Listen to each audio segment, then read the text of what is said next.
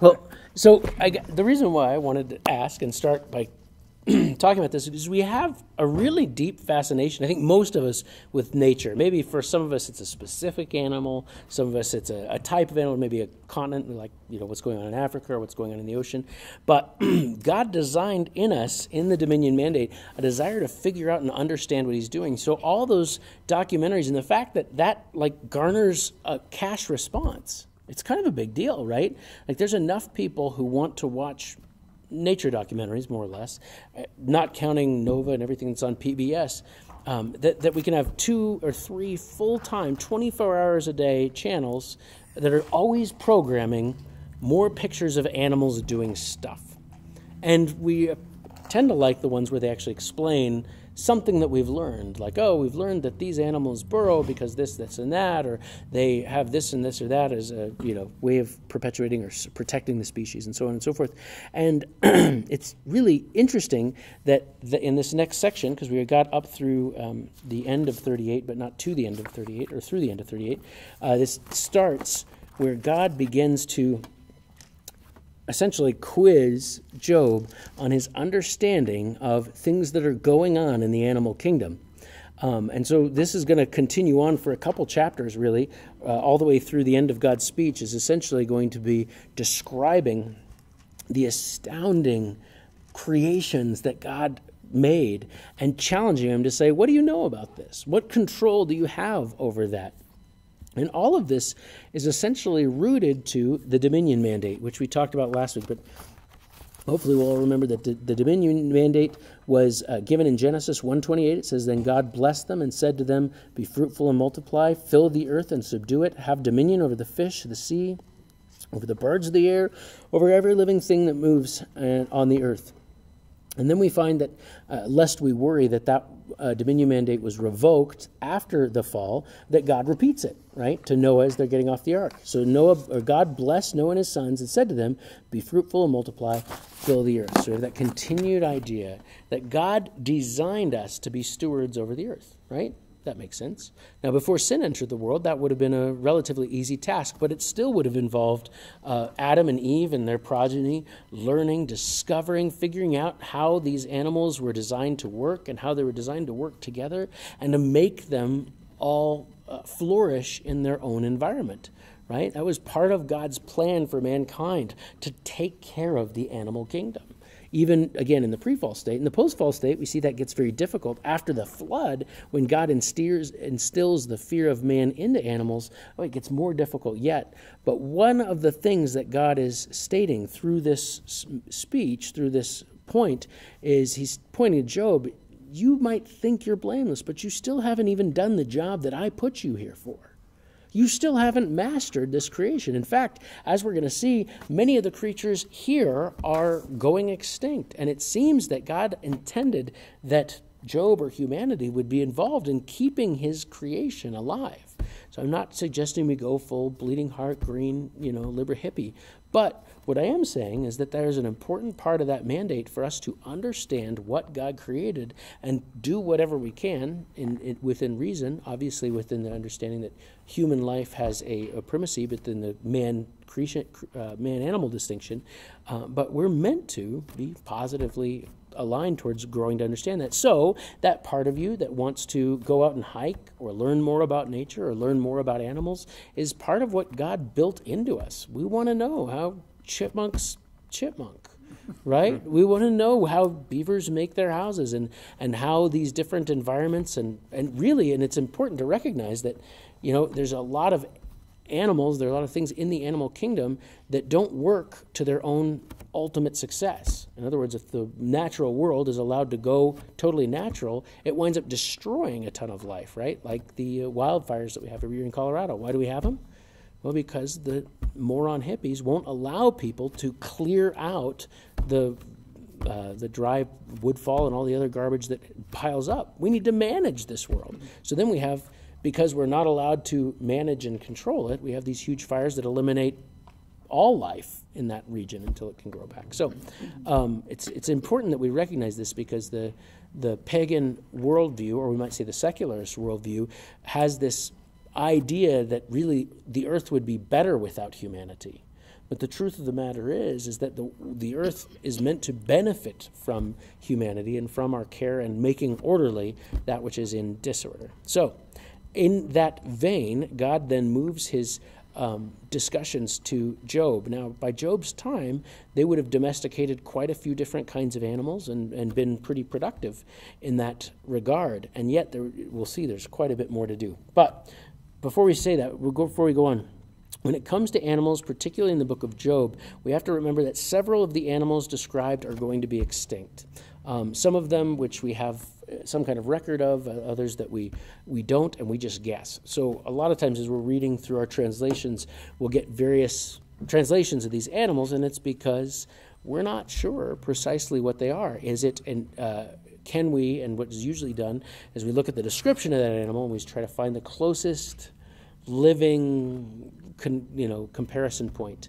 But what we're going to see is with a lot of these, the animals do not compare to animals that we have on Earth, which means that a lot of those animals are probably fresh off the ark and extinct. Um, and we'll talk a little bit more about that. Um, so often scholars are simply unsure based on what animal is being discussed, based on lack of linguistic knowledge. So that just happens to have happened. The King James version often confuses issues by making their best guess. So you'll see unicorn in the King James as well as dragon, which we could argue that both of those might have been perfectly appropriate guesses to their time because the word dinosaur wasn't invented until the 1800s, and so the word dragon was what the King James uh, writer or translators had to work with. Furthermore, the earliest dictionaries and encyclopedias in, in Europe all included dragons as living animals, so they didn't question that, uh, that as a possibility. So, anyway, um, and they would call them dragons. So, We've got language issues. And finally, like we said, certain words like dinosaur don't enter the vocabulary until much later in human history. So it would have been used, uh, they would have used other words, dragon, leviathan, behemoth, etc., to try to find like language to fit around it. Does that make some sense? Okay, then we're ready to dive in. Uh, would someone be so kind as to read jo- uh, Job 38, 34 through 41? Can you lift up can you lift up your voice to the clouds so that an abundance of water may cover you? Can you send forth lightnings that they may go and say to you, Here we are? Who has put wisdom in the innermost being or given understanding to the mind? Who can count the clouds by wisdom or tip the water jars of the heavens? When the dust hardens into a mass and the clods, clods stick together. Can you hunt the prey for the lion or satisfy the appetite of the young lions? when they crouch in their dens and lie in wait for their or in their lair? Who prepares for the raven its nourishment when its young cry to God and wander about without food? Wonderful. Okay, so uh, sorry I had to read a little bit further back, but 39 through 41 starts talking about the animal kingdom. Now, I want to first point out what what would that relationship between man and animal be like just after the fall before uh, not uh, before the flood, basically.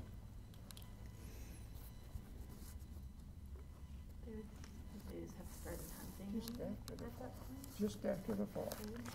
Just before the flood, yeah. So remember, it's not that man is never licensed to eat meat. It could have happened, but it seems not likely. Man was never licensed to eat meat until after the flood, right? And so the fear of it, uh, man wasn't in animals. So it's very possible that there was a more calm relationship between humans and animals. However, it's also possible that a sin kind of got changed everything on a more immediate level, and animals may have immediately began to eat uh, eat each other. uh, like Abel, he raised sheep, right? That's right. So would they have eaten the sheep? Actually, I would argue. Yeah, it's, it's, why it's so important, and it's a great point. It's why it's so important that Abel actually raised sheep one, they might have used the wool. That's certainly a, a possibility. And, but um, on top of that, it becomes clear based on the fact that they weren't eating meat that that was just for because God gave sheep or lambs for the sacrificial his sacrificial demand. So it's one of the reasons why we can say with some confidence it was probably a lamb or a sheep that was sacrificed at the uh, when at the fall when he made the skins for them, and it is again why one of the reasons why Abel's sacrifice was received and accepted because it was why they were keeping those animals um, was for that purpose. So, uh, and it of course gives us wonderful continuity throughout the Bible, looking to the Lamb of God who takes away the sin of the world. So all that uh, is is is fascinating by itself. But even then, the job might have been quite simpler if the animals were uh, less ferocious. We don't know whether um, God forestalled their desire to eat meat bef- until the point after the flood, um, or not. But we do know that after the flood, things changed significantly, and um, for all creatures, food became harder to come by. Right?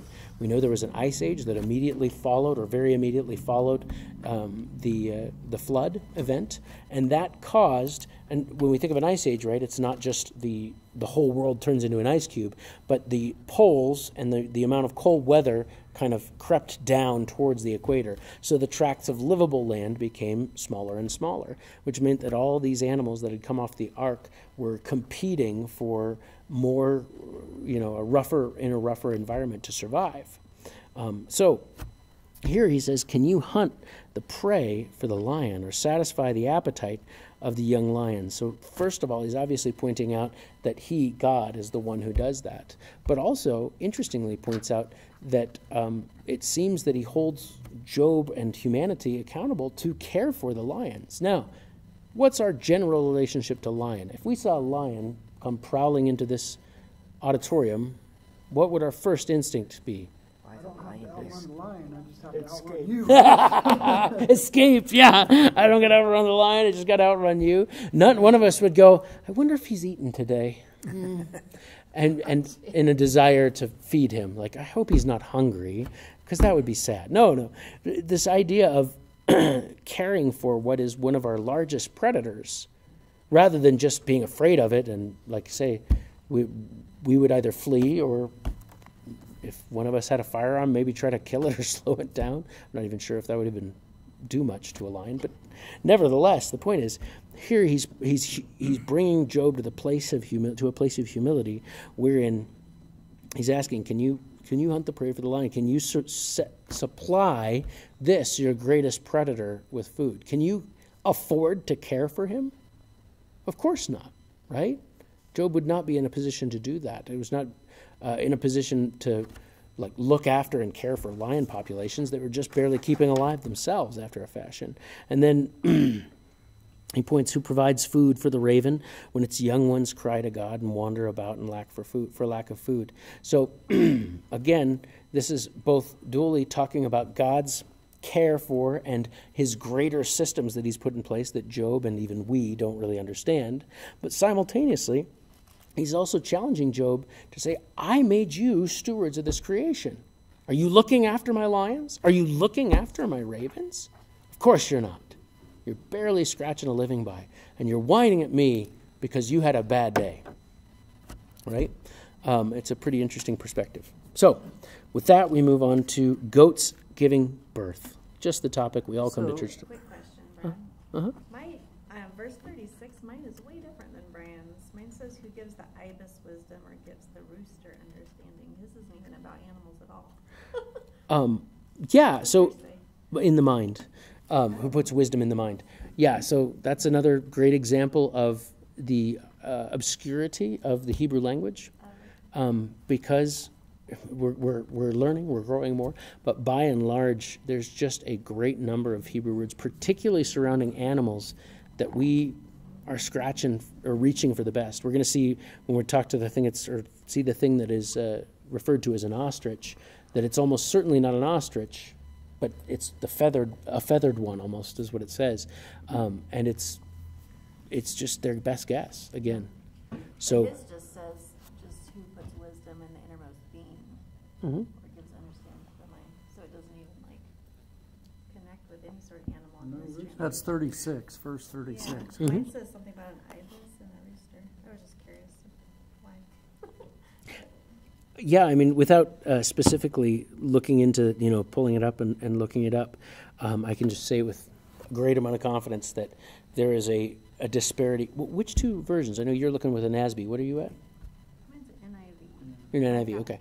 Um, so, yeah, what I can say with confidence is the Hebrew text comes to us without vowel pointing, and then the Masoretes later added vowel pointing, okay? It, that might. Okay. The Hebrew text was all in consonants because it is a verbal language. And so essentially, you couldn't read a Hebrew sentence unless you already knew what it said. It was more of a memory tool than a transmission tool. Because we think of language as like, I wrote you a letter and I moved those ideas across the mail to you or email to you. But the Hebrews thought about language by and large as a way to remember what was going on, right? Or remember. So, um, yeah, writing a letter would have been a more difficult affair, I guess, in that. Not impossible, but a more difficult affair. That being the case, you've got all consonants and no vowels, and it wasn't until the 10th century that a group of Jews called the Masoretes went through and dotted in all the vowels. Prior to that, we have the um, uh, the, the Latin translation of the Bible by St. Jerome in the fourth century, I think. Um, and so that was his work trying to get through Hebrew. Then we have the Septuagint, which gives us some information. Uh, and so by using all these means, we come to the meaning of words that are obscure to us. Sometimes there's a disagreement. So, in terms of it, it could even be over the same text, the same letters, but we could say, is that talking about this or that? Is this talking about the ibex or is it talking about the, you know, the soul or the mind of man? I didn't even know what the ibis was, though, I guess. Oh, it's a bird. confused. Okay. I always thought maybe ibis was another word for a soul or innermost being, because it said innermost being. there you go. That is well, and again, having spent a lot of time in Hebrew, Hebrew's confusing. It's tough. It's just a tough language to to get out of, especially as we're not native speakers. John, you had a question. I was, I was just gonna say, mine, mine said who endowed the heart with wisdom, so that's another. Mm-hmm. Yeah, yeah. It's again. Oh, I, yeah, so earlier, I, you made the, you made the comment that God was challenging Job for dereliction of duty, Mm-hmm. basically, Mm-hmm. which.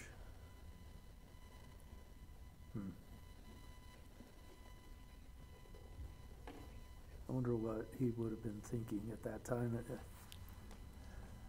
seemed like he might have had other things on his mind, so I don't know how. Yeah, I, I think what he's trying to do is trying to pull Job into the greater understanding that, hey, you haven't even accomplished what I set you here to do. Right? So he's not necessarily like full dereliction of duty, but he's just pointing out, like, you don't even, you haven't even begun to understand what I've given you to understand. Like, you can figure out where the goats give birth. You can figure out how to take care of the lions. You can figure out how to, we're going to see tame the ox. all. You could figure this all out. You could have done this. You should have done this. You haven't even expanded or really come to the point of expounding on all the mysteries I've given right before you. How can you hope to question my wisdom, which is beyond that? He's basically kind of saying, like, you, you haven't finished the Algebra 1 assignment. How can you begin to ask the tri- trigonometry 2, you know, type stuff? Does that make sense? Uh, It's interesting because when I read this, particularly in like 39, it seems to me just, and I don't know why, I can't substantiate this, but it, I read it more as you don't understand how this works, nor can you, I mean, the mountain goats, right? So it, they're probably not even accessible to him. He probably doesn't know how to even get to them to observe what they do. And God is saying, you know, I know, I know exactly what's going on. You don't know what they're doing, right? And Mhm. not, not that he was failing in the job, but just that God was trying to explain to him that um, how how how much more understanding God had about the creation than man did. So I took it as more of the what was in chapter nine, which is it's inscrutable. hmm Yeah, so that's definitely a part of that. But what we're going to note is that almost everything that God charges, Job could have known. We could, we know more now than they know then. Like he's going to talk about. Well, let's just move on. Yeah, let's keep going. I didn't- no, no, we'll, we'll answer it. But so, uh, who would like to pick up thirty-nine one through four? So, do you know when the mountain goats give birth? Do you watch when the doe bears her fawn? Do you count the months till they bear? Do you know the time they give birth? They crouch down and bring forth their young. Their labor pains are ended. Their young thrive and grow strong in the wilds. They leave and do not return. Good. So here, God expects humanity to fulfill that dominion mandate. Even though they don't specifically depend upon goats for life, He expects them to know. And, and by the way, these are knowable things, right? We can figure out the birth cycle and the ovulation cycles of goats and what time of year they uh, tend to have young and all that business, right? So it's interesting that he wants them to know about their diet. He expects them to know about their his about their life uh, life cycle and, and how it goes about. So again, these are things that we could say by and large we know now, right? I, am sure we could just turn it on and Google it and find out when mountain goats mate. We could figure that out. Why? Because people have done the work for no reason, right? knowing when the mountain goats mate and knowing what kind of how many kids they have like never cry wolf or, if you ever saw that movie like all these kind of weird expeditions that people do to live with grizzly bears or to, to look at undersea creatures right? Why do we do that? It's the stupidest thing. It doesn't help us eat. It doesn't help us drink. It doesn't produce more money. Why do we do it well, because we were meant to, we're designed to understand God's wonderful and beautiful creation, and even more so, we're meant to care for it, right? Which involves understanding how it works. So, hopefully, what this brings us to, and this is a really important issue, is that true science is part of the Lord's plan for us. It's, it, it's valuable, it's important that we're interested in animals and pets and all the other things that we're interested in dog breeding and horse breeding and uh, farming and ranching and all those things are valuable and important for us and it seems again that god uh, well absolutely john you're right he is humiliating Job in the sense of showing him how little he knows in relationship to it, but he's also using very specific examples that have to do with the domestication and uh, subordination of the earth, of the dominion mandate. So I think what he's saying is, I've given you again this many mysteries to figure out. You haven't even figured out this many mysteries, and you're going to figure out the mystery of my will. How dare you question me? Right is ultimately what he's coming to, at some level. So then we move to the wild donkey. Uh, let's see, Doug, do you want to pick up with the wild donkey? That's five through eight. Who sent out the wild donkey free, and who loosened the bonds of the swift donkey?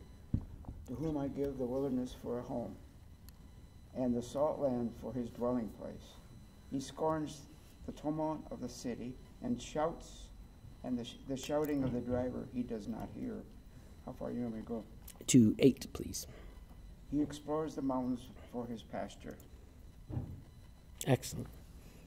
And he searches after every green thing? What? No? Yes. Okay. That's what mine is. Cool. Good. So we got it. So now we got this wild donkey, and, and so the wild donkey was obviously set free by God, and here the uh, the donkey is noted for it. We actually got two species of donkeys that we think are being talked about, so sometimes brought across as the wild donkey and the swift donkey, but they were both wild.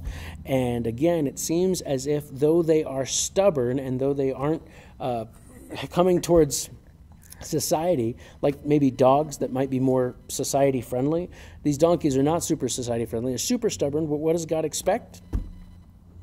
You haven't domesticated them. You're supposed to domesticate these things. These are these are great beasts of burden, and you haven't done it yet right? Who, who set him free? I did. You're supposed to deal with these things. And yet uh, he shows himself to be not, um, not doing that, right? Again, showing that, again, humiliating or showing him the limits of his knowledge and their power and their ability. All right, so now we get the uh, wild ox, 9 through 12. Joyce, would you be so kind? Will the wild ox consent to serve you? Will he stay by your manger at night? Can you hold him to the furrow with a harness? Will he till the valleys behind you? Will you rely on him for his great strength? Will you leave your heavy work to him? Can you trust him to bring in your grain and gather it to your threshing floor? Hmm. Excellent. So, this one's wild ox. This is another one of our um, one of our guess words. Another ones that we're guessing at. Uh, um, so the translators of the King James Version translated this interestingly as unicorn. So now we're in a. It's a little awkward, right? Come on. So, this is uh, one of the one of the charges that's leveled on the Bible, right? Oh, they talk about unicorns in there. You don't believe in unicorns. Okay, well, first of all, let's just all confess that unicorn, unicorns could exist. We've just never seen one, right? That's a possibility. I'm not saying it's likely, but it's a possibility. What's that? Like Bigfoot, exactly. However, far more likely, right? um, and, and some people have even put forth the rhinoceros, the single horned rhinoceros, and say, well, it's got a un- one horn and it's um, a large, difficult to manage beast. Okay, that holds a little bit of water. But even more to the uh, likelihood is that the uh, King James translators were, again, doing their best with. You, you got to remember, these are people that bathed not more than once a month, that never went to the bathroom indoors. These were people who never saw electricity ever in their lives. They might have traveled a total, some total of 100 miles in their entire lives. They had limitations, right? So we have to recognize that we, with those limitations come some guesses that probably are better corrected. So then uh, modern translators look at this and go, eh, "It sounds like a wild ox. That that's a that's a good guess on this." Um, I think it's as likely that it's another of the extinct beasts uh, that we don't know, and who knows? It again, there's the unicorn things kind of off the cuff, but it could have been some other large uh, and powerful animal. What do we see in the fossil record? Lots of large and powerful animals, lots of big beasts and creatures. So it could be that it's talking about one of those. Um, but either way, what do we see? Uh, that this animal like, likewise was meant to be domesticated. God intended man to domesticate even these large and much more powerful than him animals. That's where an ox makes a decent guess, but again, uh, it seems that the point is that his the strength of this beast is far greater than human strength, and yet they were meant to be put to good and productive use, right? And again, have, has Job accomplished that in his lifetime? Not yet. Not yet. They, they mastered some, but they hadn't uh, gotten to the point of caring for all creatures um, in that way. All right, 13 through 18. Um, the, wings, the wings of the ostrich flap joyfully, but they cannot compare with the pinions and feathers of the stork. She lays her eggs on the ground and lets them warm in the sand unmindful that a foot may crush them, that some wild animal may trample them. She treats her young harshly, as if they were not hers. She cares not that her labor was in vain, for God did not endow her with, with uh, wisdom, or give her a share of good sense. Yet when she mm-hmm. spreads her feathers to run, she laughs at horse and rider. Good. So again, um, ostrich is the best guess of translators based upon currently living creatures. Now, um, it might be, uh, but the trouble is that the wings described are compared to a stork's, more or less. So it, that's another flying bird, uh, and it seems as if seems as if the flightless bird are not necessarily a, um, a perfect comparison. Might be, but again, it's very likely that this is another extinct animal, an animal that we don't uh, we don't see walking around today. Um, the care for his eggs shows a young, or sorry, and her young show carelessness, right? So here she is not taking care and uh, not taking care of her animals, and it's possibly and probably because she was designed, like all creatures, to live in an, a, a friendly world, a world in which nothing would come after and eat your eggs, right? So this could also be what led to this animal's extinction was the fact that like here Noah's or Noah, uh, Job is being challenged like, hey, you got this animal and it's so dumb that it puts its young at risk and it doesn't even care for its young.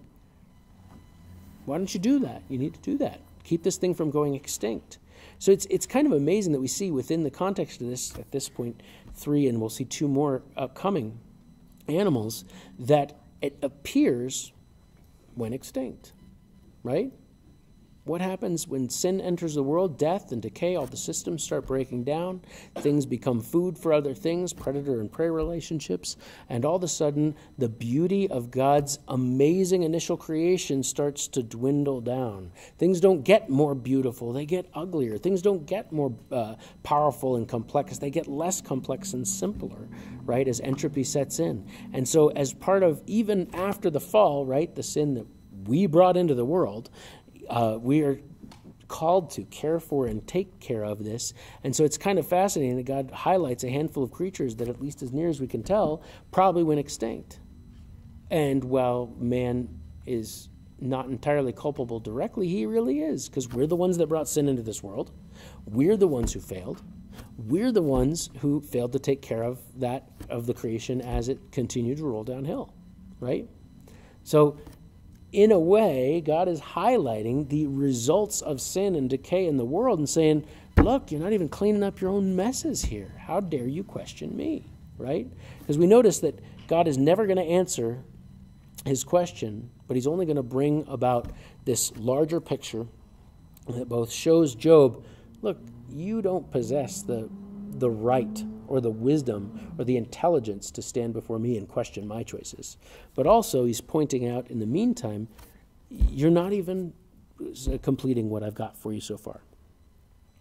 Horses. Uh, Joy, are you on? Thanks. Thank you. Uh, nineteen to twenty-five? Uh-huh. Sorry, okay. Do you give the horse its strength or clothe its neck with a flowing mane? Do you make it leap like a locust, striking terror with its proud snorting? It paws fiercely, rejoicing in its strength, and charges into the fray. It laughs at fear, afraid of nothing. It does not shy away from the sword. The quiver rattles against its side, along with the flashing spear and lance. In frenzied excitement, it eats up the ground. It cannot stand still when the trumpet sounds. At the blast of the trumpet, it snorts, aha! It catches the scent of battle from afar, the shout of commanders in the battle cry.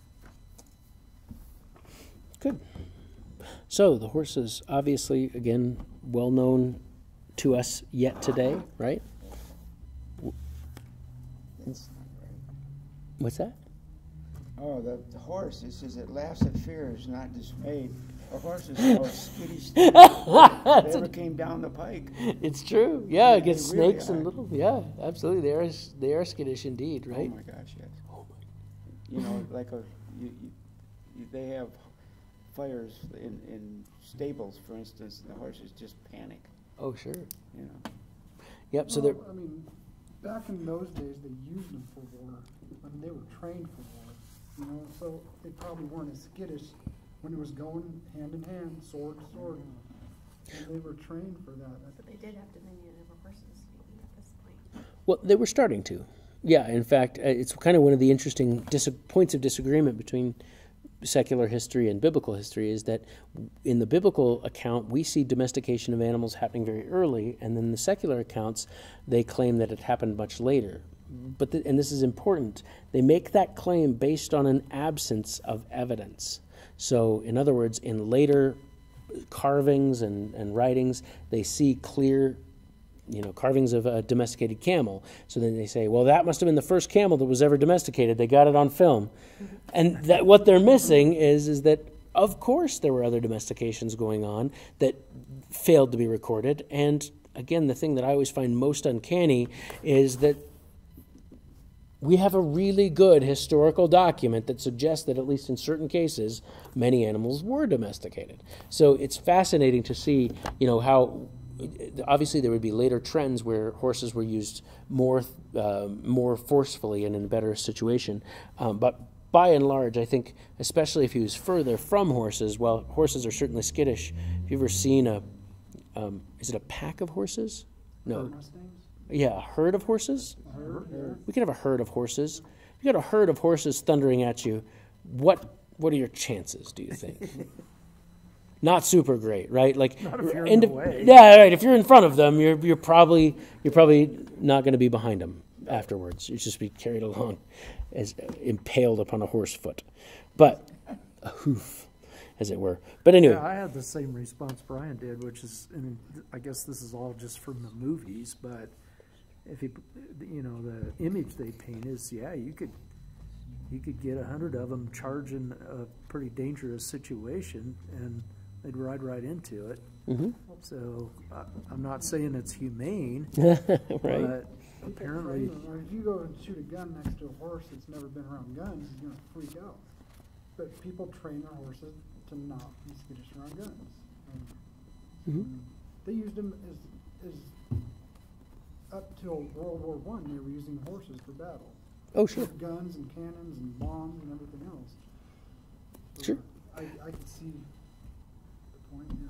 Yeah, yeah. Well, and, and yeah, again, Doug, your point's well founded, right? We know that individual horses are super skittish and weird and freaky. Um, well, it's just so much animal, and to be so scared by a like a stick shaped like I a snake. This friend that had a horse, and this horse would not let let her get its feet wet. Just hated getting its feet wet. Just so pristine. I'm not gonna. That's funny. She made it go stand in the creek until it quit. like a two-year-old Didn't put boots on? horse. A horse boots. That's like horseshoes. But, but obviously, again, horses strong, tall, fast, fierce in battle. Um, and again, they might have to be trained for that, but they certainly were useful for that. And in fact, as you pointed out, horses were the primary war technology for how many, what percentage? I mean, a huge percentage of Earth's history. A horse was the biggest tactical advantage you can have, right?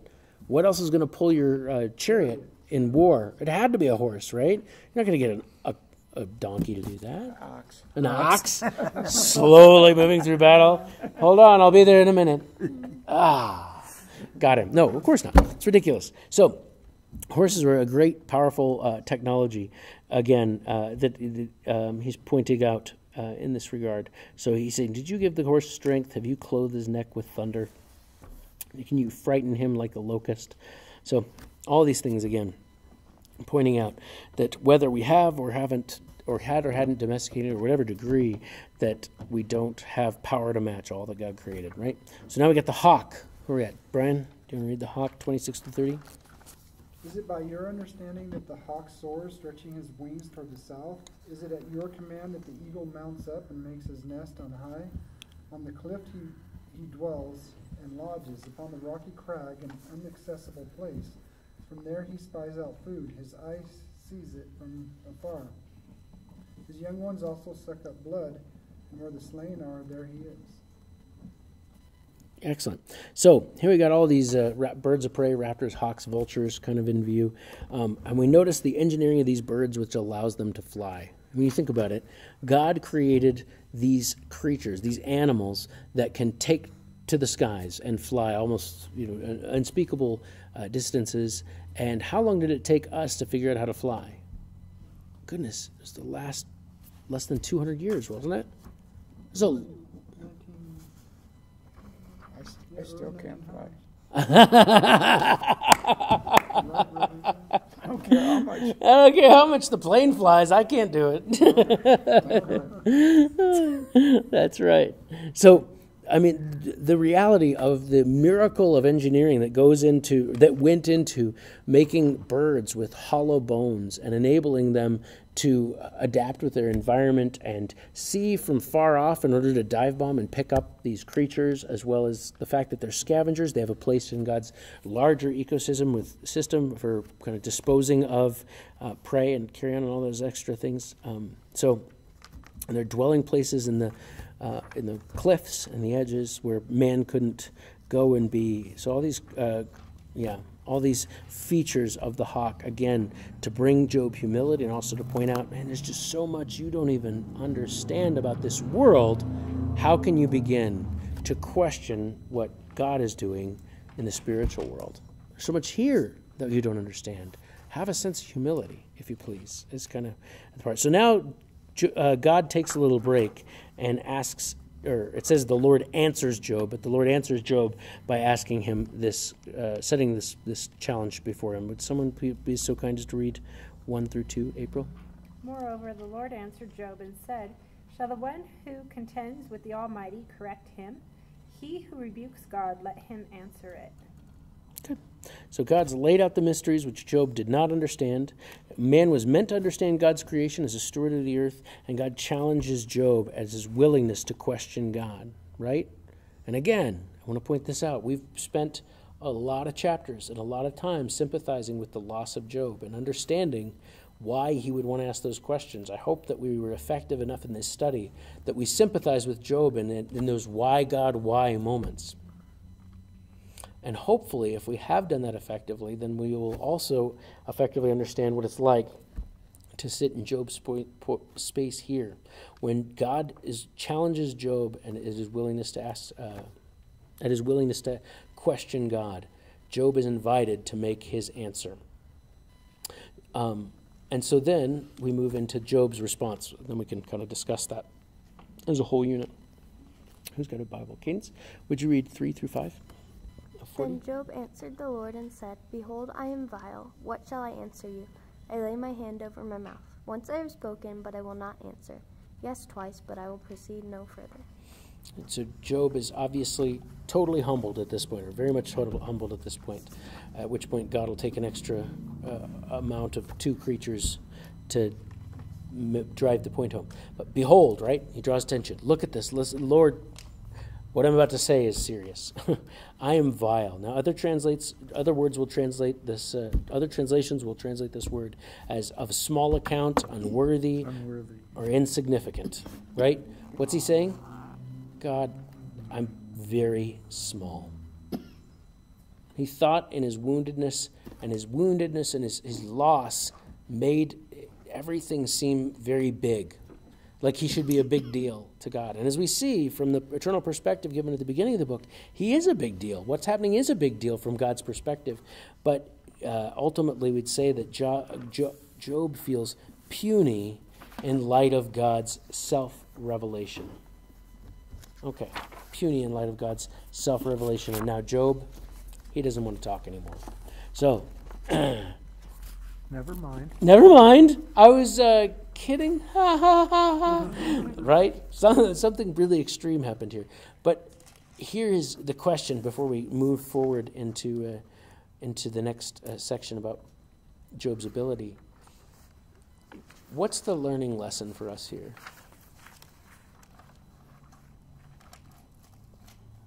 How does Job's having been silenced by this, what's the application for us today? Keep our mouth shut. Keep our mouth shut. That's a good starting point. What is it? I can't remember who it said. I never had to repent of a word I didn't say. What What else though in our attitude about life? Just be, just be patient and trust him. It's hard, but it's hard. but I think that's that's what I think. Humble. Mhm. Humble. Yeah, be humble before the Lord. Mm-hmm. I think, yeah, to, to Nobu's point, being patient is being able to entrust ourselves to the Lord's ultimate wisdom, goodness, and care. So we might draw a picture here. Job, who really did awesome. I mean, he got solid A, A minus on this assignment. But what would be the A plus? What would the A plus look like in Job's suffering? Unquestionable faith. Yeah. Unquestioning. If he were to say, Lord, I don't know what's going on, but I trust that you do. Obviously, asking the question was acceptable. It's enshrined in Scripture for a reason. And so it's not to say that we should, uh, you know, like punish ourselves for questioning or wondering, but ultimately, what we can learn from the life of Job is, is that God is ultimately totally trustworthy, even if we don't understand it. Even if we go to our grave without an understanding, we will live a more productive and fruitful life if we choose faith over fear. If we choose the trust in who He is and His character and even His plan over our own, uh, would we say, self absorption, self concern. Far easier said than done. I promise you, I'm going to drive home tonight and someone's going to cut me off in traffic and I'm going to lose all my perspective quickly, right? That's not exactly suffering, would not losing perspective. You really need to lose. To, to- those people need to be punished, right? No, of course not. Um, Well, it's, and further, it, it also prove, it also says that, uh, even though, even if we did that, we, we could, we could not manage it. mhm. Even if we knew all these things that he's pointing out here, Hmm. that it's unmanageable for Job or anybody else Mhm. to manage, so, you know, we're, we're relying on, on the Lord. Yeah. God, Yeah. Lord God, Mhm. for substance. Yeah, absolutely. We have to recognize uh, one of my favorite quotes from The Hobbit is at the very end of The Hobbit, after the whole big thing, is um, some the Gandalf says to him, you know, after all, you really are just a small hobbit in a big world, aren't you, or something to that effect. And that recognition that no matter how wise, no matter how bright, no matter how smart we think we are, how are we really doing at this? We still don't understand much of the system, right? I mean, we all like to get all fired up about, up about our politics, but let's just pretend that your politician or my politician won every time. You know, we'd still be in a mess, right? It would make hardly a lick of difference. The system's bigger than that. The, the, the world system's bigger than that. The issues are more complicated than that. And the great thing is that while we should be aware and alert and involved as we can be and being positively uh, involved in our world, our environment, our government, our city government, whatever it is, that we have to recognize our ultimate smallness in, this, in the light of God's great wisdom, power, and ultimate plan, which will lead to his glory right? And here's the, the real kicker, at least to me, is we really need to know that before the suffering comes in. I mean, we, we're always kind of going through a certain amount of suffering, and some is greater suffering, suffering, and some of lesser suffering at different times. But ultimately, we, it helps to have this perspective before, and that's why this is in the Word of God, so that we can have it. It's not like it comes uh, like Job's friends who come up and try to solve all his problems. We can choose this perspective before the big suffering comes. We can choose to say, Lord, I don't understand and I don't know, but I do trust you. I do choose to trust that what you're doing is ultimately right, that you're working all things together for good, for those who love your name. So, moving on from there, God questions Job's ability. Uh, would someone read 6 through 14? Where are we at? We're at me. Okay. Uh, was it 46 through 14? It says, Then the Lord answered Job out of the whirlwind and said, Now prepare, for, prepare yourself like a man, I will question you, and you shall answer me. Who, uh, would you indeed annul my judgment? Would you condemn me that you may be justified? Have you an arm like God? Or can you thunder with a voice like his? Then adorn yourself with majesty and splendor, and array yourself with glory and beauty. Disperse the rage of your wrath. Look on everyone who is proud, and humble him. Look on everyone who is proud, and bring him low. Tread down the wicked in their place. Hide them in the dust together.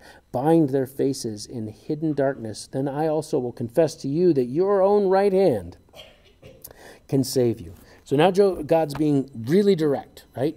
Gird up your loins. We talked about that. It's like strap, tighten down any loose clothing, be ready for action, specifically here in the mental, spiritual sense. Prepare yourself. You got what you wished for. Don't you want it, Job? Right? And then uh, he asked Job, Is Job, are you going to condemn God just to preserve your own righteousness in your own eyes? It's kind of like uh, the young child who has been told no by their parents. They say, I hate you. I wish you weren't my parents. I wish I didn't have parents, whatever it is. We all saw Home Alone, right? The kid who wished that his family would disappear, and he slept through them leaving, and, and then he had to deal with it, and it was awful, right? It was comedic because it's a funny movie. But you think about what a real kid situation would be like. They'd be absolutely devastated, right?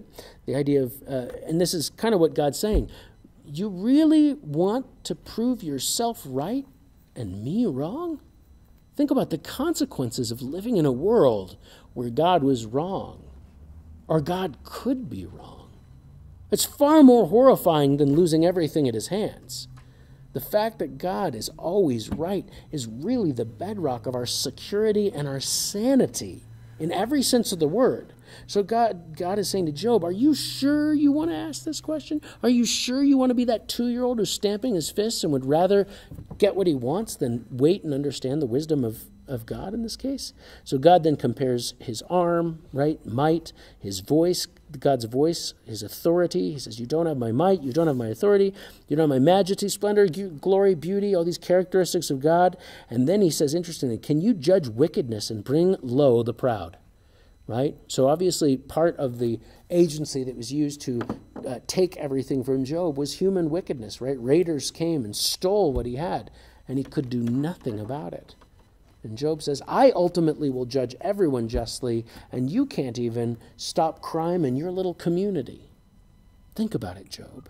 And then he says this the beautiful closing line to this little segment that your own right hand can save you. In other words, he's saying you can't save yourself. You need a savior. You need me, Job. God is saying you need me to save you. All right very quickly to, to, to finish out chapter 40. Uh, who would read? Oh, John, would you read 15 through 24? Look at the behemoth which I made along with you, and which feeds on grass like an ox. What strength he has in his loins, what power in the muscles of his belly. His tail swings like a cedar. The sinews of his thighs are close knit. His bones are tubes of bronze. His limbs like rods of iron. He ranks first among the works of God, yet his Maker can approach him with his sword. The hills bring him their produce, and all the wild animals play nearby. Under the lotus plant he lies, hidden among the reeds in the marsh. The lotuses conceal him in their shadow. Poplars by the stream surround him. When the river rages, he is not alarmed. He is secure, though, though the Jordan should surge against his mouth. Can anyone capture him by the eyes or trap him and pierce his nose? Awesome. So here's this uh, behemoth. I, I, put forth in your notes that it's a brontosaurus, some kind of very large dinosaur. People have thought, or rather, modern scholars, again, who've accepted the evolutionary worldview, would say, oh, come on, there's no way that he saw something like that. They must have been uh, describing an elephant. But the trouble is, an elephant doesn't have a tree like a cedar, right? Neither does a hippopotamus. They both have little dinky, wimpy little tails, whip like tails, right? Tails, yeah. Right? But here's this creature that is has all of its power in its belly. Now we uh, know, based on at least what I've read about dinosaurs, that so, these these big um, theropods, I think they're called, or sauropods, sauropods. Anyway, the four the four leggers, the four leggers, right, being the by far the largest, could actually lift themselves up on their back legs and kind of stand up on their back legs, showing an incredible amount of what we'd call like abdominal strength. Um, so here they are with all their power kind of in their belly and their loins, their tail like a cedar. Again, we know that it swings, uh, that the sauropods didn't drag their tails, but rather they swung kind of to and fro above because they were um, supported on their four four legs with their uh, yeah four down looking legs whatever down pointing legs uh, their bones like strong metal dinosaurs uh, on noah's ark were almost a sure thing right so we see that um, as we talked about with Dr. Clary, right? We saw that dinosaurs almost certainly went on the ark. They didn't have to be full grown ups, they could have been small adolescents. And as they came out of the ark, what did they do? Well, they started to die pretty quick because they were built in a world that was and built for a world that was far more abundant and far more conducive to life and continuation. And now this new world, especially with the ice age, scrunches them all in. There's not nearly as much of a swampy environment uh, available to them, and so by and large, they start to die off um, pretty quickly. And this is why we have fossils, and uh, because what we see is that anything that would have died after the flood would have been ultimately eaten, rotted away, and, and so on and so forth. What do we see in this, the fossil record? Hundreds and hundreds of what? Dinosaurs that were had to be very deep and quick, right? So that the fossils could be formed, so that they could be made. In other words, we need a worldwide flood to have the amount of both oil as well as the am- amount of uh, dinosaur evidence or fossils that we see now, but also we can, it explains dragon stories because of those few dinosaurs that went on the ark, they would have had some children and gone forward and had though very limited impact, unimpact throughout the ancient world, which is why we see dinosaurs, as we know, on uh, in various representations like the Chinese zodiac and um, in the yeah, various carvings and temple carvings and the like. We see constant attestation to dragons, dinosaurs, dragon stories, knights killing dragons, and, and, and the like. Um, and so this, this behemoth was most likely, uh, uh, uh, and, and you have to put yourself in Job's shoes.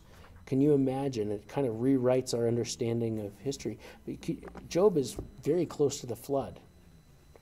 So it's very possible that Job didn't just see one dinosaur walking through, but many, many dinosaurs in his life. Can you imagine watching a brontosaurus stomp by? Like, what a humiliating experience that would be. And God saying, Yeah, I made that guy. I, I made him and I control him. Interestingly, he doesn't uh, talk as much about trying to uh, domesticate him because it seems less likely. Um, well, our last chapter is about Leviathan. Our second to last chapter is about Leviathan, and I think you guys get the the gist of this enough that we can just read through the uh, chapter and make very few comments and move on because it's really just driving home that final and last point. So, what I'd love to do is have each of us read five verses of verse 41 until we're finished, starting with Doug. Did you were you last? Okay. Yeah. Okay. Five verses of 41, right? Yes, please. Can you draw out Leviathan with a fishhook, or press down his tongue with a cord? Can you put a rope in his nose, or pierce his jaw with a hook? will he make many uh, supplications to you, or will he speak to your soft words?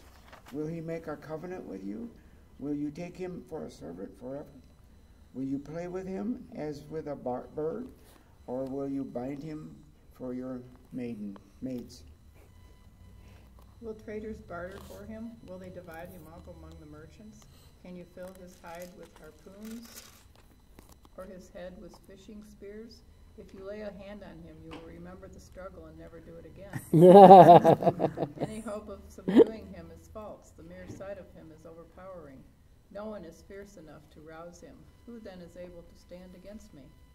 Who has a claim against me that I must pay? Everything under, under heaven belongs to me. I will not fail to speak of his limbs, his strength, and his grateful form, uh, great, graceful form. Who can strip off his outer coat? Who would approach him with a bridle? Who dares open the doors of his mouth, ring, ring about with his fearsome teeth? His back has rows of shields tightly sealed together. Each is so close to the next that no air can pass between.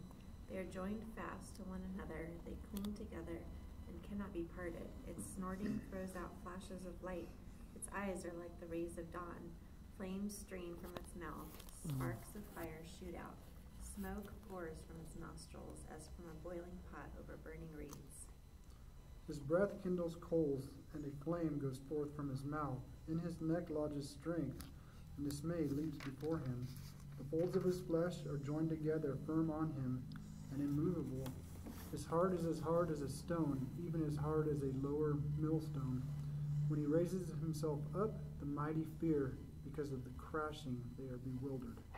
The sword that reaches him cannot avail, nor the spear, the dart, or the javelin. The, he regards iron as straw, bronze as rotten wood. The arrow cannot make him flee. Sling stones are turned into stubble for him. Clubs are regarded as stubble. He laughs at the rattling of the javelin. His underparts are like sharp potsherds. He spreads out like a crushing sledge on the mire. He makes the deep boil like a pot. He makes the sea like a pot of ointment. He leaves a shining wake behind him. One would think the deep had white hair. On earth there is nothing like him, which is made without fear. He beholds every high thing. He is king over all the children of pride. Awesome.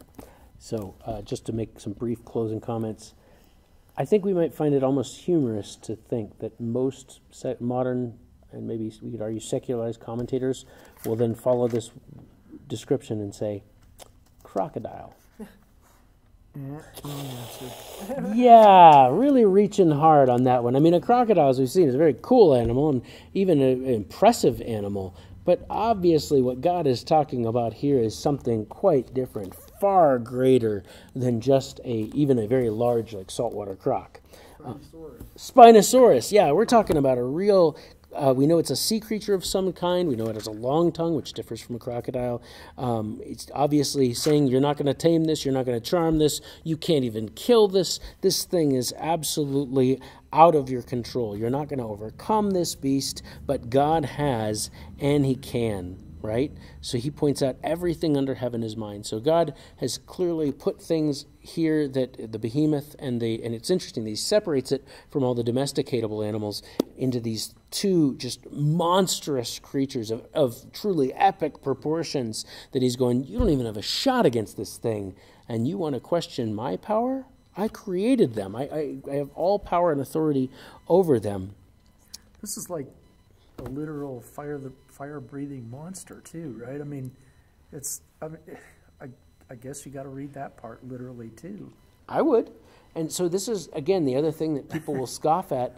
They'll say, "Oh, come on, fire-breathing dragons." Well, one, mo- many of the stories involving dragons that we have passed down do involve them breathing fire. Now, it, it seems a little difficult for us because we don't have any fire-breathing animals. We have the bombardier beetle that shoots a sort of explosive, fiery, uh, acidic thing in very small portions out of its hindquarters.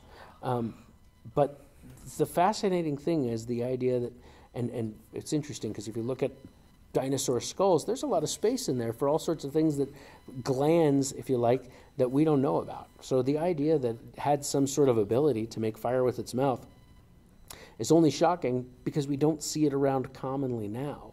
But the reality is is that there's no reason to doubt that there might have been some kind of ability for this fire-breathing sea dragon to exist, right? And someone say, "Well, we don't see it now." Yeah, of course. There's lots of dis- extinct animals that we know don't that aren't currently living, um, and it, we could see a lot of reasons why it would be extinct, right? Something like that would have a terrific appetite, and again, in the post-flood world, it was much more difficult. But the point that he brings this up is that no weapon formed by men could defeat this creature. And interestingly, he relates this uh, this sea dra- this fire breathing sea dragon, uh, very fascinatingly, to Satan. It would seem on this last thing, he beholds every high thing. He is the king over all the children of pride. So interestingly, here this sea creature is somehow related to uh, Satan, and what was his sin? Pride. Pride, of course, it was pride. So he's, um, he's the king of all the children of pride. He's, there's this satanic connection even to this creature, which is kind of fascinating because we talk about the serpent, which Satan, uh, which Satan inhabited, was then punished right by losing arms and legs, thereby snakes being squirming creatures. But it seems that other creatures of this serpent kind maintained their arms and legs in terrifying stature. Um, so, here's our conclusion. Before God, we are small, and our wisdom and power are hopelessly limited. We struggle even to uh, master and understand what God has created. We know more today, and yet that knowledge is make, only makes us arrogant. Understanding is not creating, right? Isn't that the modern fault? We've figured so much of the things out that God, so many of the things out that God would have us figure out, and we think that because we figured out, we somehow made them. We didn't make them, we just figured them out. God was the one who put them together. That we couldn't do that part. And so it's kind of fascinating that the atheistic scientific community acts like because we've discovered a few things that somehow we're master over creation. But the same message is needed. We're still humbled before creation, right? Um, we got to approach God with an attitude of utter humility uh, before Him. It is not just what works out best for Him and His glory, it's what works out best for us. When the difficult situations of life come along, they may well be entirely out of our control. The only way we can orient ourselves in those storms and those difficulties is by continuing to plummet down and trust in God. If we start to uh, allow the, the storms and the trials to shake our faith in God, it only makes the trial worse. That make sense? So it's both a self serving and a God honoring reality because this is the truth of the matter. Everything that is best according to God's will is also best for us. And um, I think that's what God is ultimately trying to elicit in Job uh, in this case is bring him down to that point of humility to say, I know it all felt out of control. I know it didn't make sense. I know you're scared, but the right thing to do was always to trust in God, to trust in Him and His character. Any closing questions or comments? Anything at all? Applications? We could, we solve it with global warming. That's right. If we just solve global warming, everything, Everything will be great. everything will be fantastic. So when the animals got off the ark, they, pro- they probably had a lot smaller area, but there were a, a lot less of them, like two.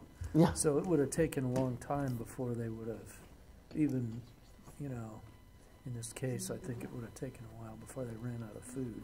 Mm-hmm. Because all they had to do is, you know, go a couple of miles and there's nobody else around, right? Yeah, absolutely. Absolutely. But yeah, that's quite a critter. And the other one was, it's interesting. I, I, I didn't realize this was in here on the previous one. He ranks first among the works of God. Mm, mm-hmm. It's like he's basically saying this is the greatest thing I made, right? Mm-hmm. On the earth. And you notice that he says just before that, he was created along with you. He points out the Which proximity. I made along with you. Yeah. So when were all land creatures made? Land creatures? Anybody remember? Day five. Day six. Six. Yeah, all of day six. All these land creatures. So the the brontosaurus and everything else is ran out of fingers. Uh, That's good. So yeah, uh, day six is when all these creatures were made. So here Job affirms the creation week, and that we were all, all these creatures, us and them, were all created on day six in close proximity. Well, and if it's relating it to Satan, he said that that was his most beautiful angel Mm-hmm. that was created 1st Mm-hmm. And this is his most, his greatest creature. Yeah. It's Although interestingly, that this one doesn't have his image, oh no, clearly not. but I think that the relationship is is more symbolic in this case. So, obviously, Satan uh, Satan comes first uh, possessing the serpent, and he, ca- as we've seen through this Rahab and through sea serpent imagery, he's been alluded to in dragon imagery, uh, and then we're going to see that all the way through Revelation to Revelation chapter twelve, when finally, you know, that dragon, that serpent of old, Satan, is clearly portrayed as eschatologically the dragon. So. I like this. If you lay a hand, this is the other one. If you lay a hand on him, you'll remember the struggle and never do it again. Yep. It only takes once. That's right. It's like putting a fork in the light socket. You probably won't do it twice. All right. Well, let's uh, close with a word of prayer, and we can say it in fellowship and as long as we want. Father, how we thank you for the wonderful gift of your word, Lord. We thank you for the example of Job. Uh, none of us are so arrogant or bold as to think we could do better. But because of the struggle with, with, with through which you put him, because of this loving dialogue that you exposed our absolute lack of understanding, our lack of power, our lack of knowledge, Lord, and yet you have said that you are our shepherd, you are our keeper, you are our protector. Father, we can rest in that.